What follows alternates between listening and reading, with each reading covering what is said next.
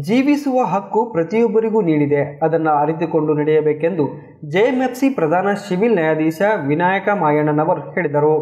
ಅವರು ಲಿಂಗಸೂರು ಪಟ್ಟಣದ little flower ಶಾಲೆಯಲ್ಲಿ ಮಂಗಳವಾರ ತಾಲೂಕು ಕಾನೂನು ಸೇವಾ ಸಮಿತಿ, ನ್ಯಾಯವಾದಿಗಳ ಸಂಘ, ಮಾನವ ಹಕ್ಕುಗಳ ಹಾಗೂ ಭ್ರಷ್ಟಾಚಾರ ವಿರೋಧಿ ಸಂಸ್ಥೆಯ ಸಹಯೋಗದಲ್ಲಿ ಆಯೋಜಿಸಿದ್ದ ವಿಶ್ವ ಮಾನವ ಹಕ್ಕುಗಳ ದಿನಾಚರಣೆಯ ಕುರಿತು ಕಾನೂನು ಅರಿವು ನೆರವು ಕಾರ್ಯಕ್ರಮ ಉದ್ಘಾಟಿಸಿ ಮಾತನಾಡಿದರು.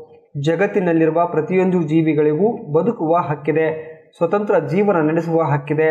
ಆದರೆ ಬಹುತೇಕ ಸಂದರ್ಭದಲ್ಲಿ ಇತರರ ಬದುಕಿನ ಹಕ್ಕನ್ನು ಕಸಿಯುವುದು ಅವರಿಗೆ ಹಿಂಸೆ ನೀಡುವ ಮೂಲಕ ಮೂಲಭೂತ ಹಕ್ಕುಗಳನ್ನು ದಮನಿಸುವ ಪ್ರಯತ್ನ ನಡೆಯುತ್ತಿವೆ. ಅವರ ಹಕ್ಕುಗಳಿಗೆ ಗೌರವಿಸುವ ಕೆಲಸವಾಗಬೇಕಾಗಿದೆ ಎಂದು ಹೇಳಿದರು. ಯಾವಾಗಲೂ ಮನುಷ್ಯನಿಗೆ ಏನು ಬರುತ್ತೆ ಹೇಳ್ರಿ ಫಸ್ಟು ನೆಗೆಟಿವ್ ಥಾಟ್ಸೇ ಬರುತ್ತೆ. ನೆಗೆಟಿವ್ ಥಾಟ್ಸಿಗೆ ಅವನು ಮಾರು ಹೋಗ್ಬಿಡ್ತಾನೆ. ಈ ಪಿಕ್ಚರ್ ಗಿಚ್ಚರಲ್ಲೆಲ್ಲ ನೋಡ್ತಿರ್ತಿರಲ್ಲ ಸಿಗರೇಟ್ ಹಿಂಗೆ ಸ್ಟೈಲಿಂದ ಹೀರೋಸ್ ಎಲ್ಲ ಸೇರ್ತಾ ಇರ್ತಾರೆ.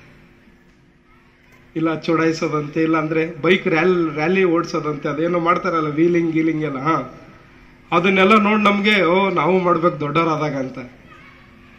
ಅನ್ಸುತ್ತಾ ಇಲ್ವಾ?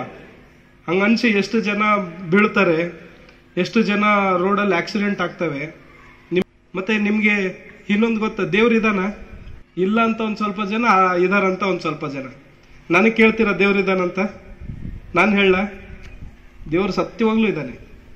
ನೀವು ಕೇಳ್ತಿರಲ್ಲ, ಯಾವಾಗಲೂ ಯಾವುದಾದ್ರೂ ಒಂದು ಕಷ್ಟದಲ್ಲಿ, ಅಬ್ಬಾ, ದೇವ್ರು ಬಂದಂಗೆ ಬಂದು ನನ್ನ ಕಾಪಾಡ್ಬಿಟ್ಟಲ್ಲಪ್ಪ ಅಂತ. ಹೌದಲ್ವಾ? ಎಲ್ಲರಿಗೂ ಅಂತಿರಿಲ್ಲ, ಅಯ್ಯೋ, ದೇವ್ರು ಬಂದಂಗೆ ಬಂದು ನನ್ನ ಕಾಪಾಡ್ಬಿಟ್ಟಪ್ಪ ನೀನು ಅಂತ. ಅದೇ ದೇವರು ಮತ್ಯಾರು? ಹೆಚ್ಚುವರಿ ನ್ಯಾಯಾಧೀಶ ದೇಶ್ಮುಖ್ ಶಿವಕುಮಾರ್, ಎಪಿಪಿ ವಸಂತಕುಮಾರ್ ವಕೀಲರ ಸಂಘದ ಅಧ್ಯಕ್ಷ Ashik Ahmed, CDPO Sharanamma Karanur, little flower ಶಾಲೆಯ ಮುಖ್ಯ ಶಿಕ್ಷಕಿ ಬಗಿನಿರನ್ನಿ ಡಿಸೋಜಾ, ಮಾನವ ಹಕ್ಕುಗಳ ಹಾಗೂ ಭ್ರಷ್ಟಾಚಾರ ವಿರೋಧಿ ಸಂಸ್ಥೆ ಅಧ್ಯಕ್ಷ ಹುಸೇನ್ ಪಾಷಾ, ಕಾರ್ಯದರ್ಶಿ ಶೇಖ್ ಅಹಮದ್ ಹಾಗೂ ಇನ್ನಿತರರು ಇದ್ದರು.